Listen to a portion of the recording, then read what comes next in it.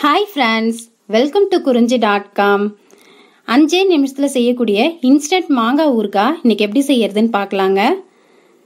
ரொம்ப ஈஸியாக செஞ்சிடலாம் அதை. ஒரு கடாயில் அரை ஸ்பூன் வெந்தயத்தை சேர்த்து லைட்டாக வறுத்து எடுத்துக்குங்க. ரொம்ப கலர் மாற விடாதீங்க. லைட்டாக வறுத்தெடுத்தா போதும்.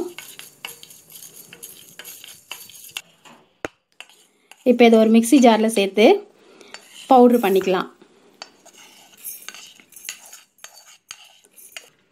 இப்போ அதே கடாயில் பத்துலேருந்து பன்னெண்டு காஞ்ச மிளகா சேர்த்துருக்கேங்க. இதையும் நல்லா வறுத்து எடுத்துக்கலாம்.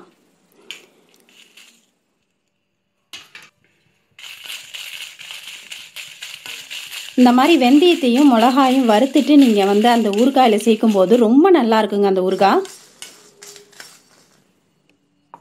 இப்போ வெந்தயத்தை முதல்ல நம்ம மிக்சியில் கொஞ்சமாக ஓட்டிட்டு அதுக்கப்புறம் இந்த மிளகாவை சேர்த்து இதையும் நல்லா பவுட்ரு பண்ணி எடுத்துக்கலாம்.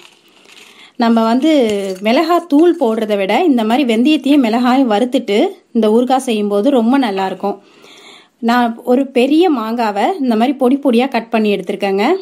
இதில் தேவையான அளவுக்கு உப்பு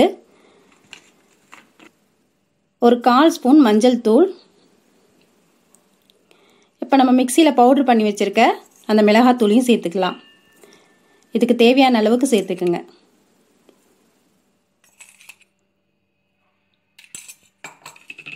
நீங்கள் மாங்காய் மட்டும் கொஞ்சம் இனிப்பும் புளிப்பும் கலந்த மாதிரி ஒட்டு மாங்காயில் செய்யுங்க. இந்த ஊறுகாய் ரொம்ப நல்லாயிருக்கும் இனிப்பு புளிப்பு உப்பு காரம் இது ஒன்றும் போதுங்க. வேறு சைட் டிஷ்ஷே தேவையில்லைங்க. தயிர் சாதம் சாம்பார் சாதம் புளி சாதம் எலுமிச்சை சாதம் எல்லாத்துக்குமே ஒரு நல்ல சைட் டிஷ்ஷுங்க இது. இப்போ ஒரு கடாயில் ஒரு குழி கரண்டி நல்லெண்ணெய் ஊற்றி எண்ணெய் காஞ்சதும் அதில் அரை ஸ்பூன் கடுகுளுத்தரிசி சேர்த்துருக்கேங்க. கடுகு நல்லா பொரியட்டும். இப்போ இதில் ஒரு கொத்து கருவேப்பிலையும் ஒரு கால் ஸ்பூன் பெருங்காயத்தூளும் சேர்த்துருக்கேன். இப்போ இதில் நம்ம அந்த கலந்து வச்சுருக்க மாங்காயை சேர்த்துக்கலாம். சேர்த்து ஒரு நாலு நாலுலேருந்து ஒரு அஞ்சு வதக்கு வதக்குங்க. இந்த மாதிரி லைட்டாக வதங்கினா இந்த ஊறுக்காய் சாப்பிடும்போது ரொம்ப நல்லாயிருக்கும்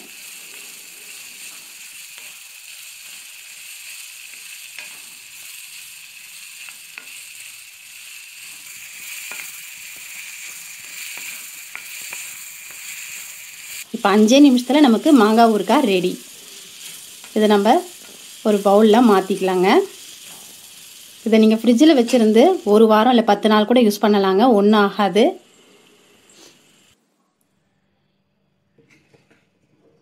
நம்ம வேறு எந்த கலரும் சேர்க்கல. நம்ம அந்த வறுத்து அரைச்ச மிளகாய் இதுக்கு நல்ல ஒரு கலரை கொடுக்குங்க. இந்த ரெசிபி உங்களுக்கு பிடிச்சிருந்தா லைக் பண்ணுங்கள் ஷேர் பண்ணுங்கள் சப்ஸ்கிரைப் பண்ணுங்கள் உங்கள் ஃப்ரெண்ட்ஸ் அண்ட் ரிலேட்டிவ்ஸோட இந்த வீடியோவை ஷேர் பண்ணிக்கோங்க. நன்றி வணக்கம்.